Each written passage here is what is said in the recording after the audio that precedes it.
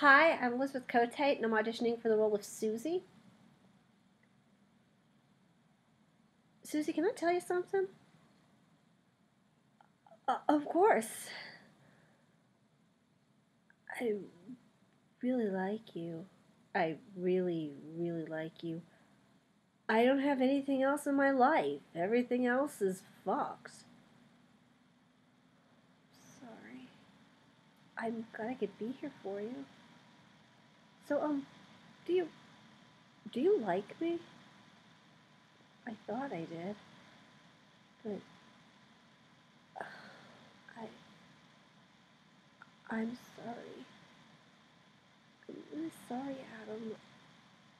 I, I don't think I do. Oh. I'm sorry. I know that's really hard to hear. I just. I was confused and I think I gave you the wrong idea.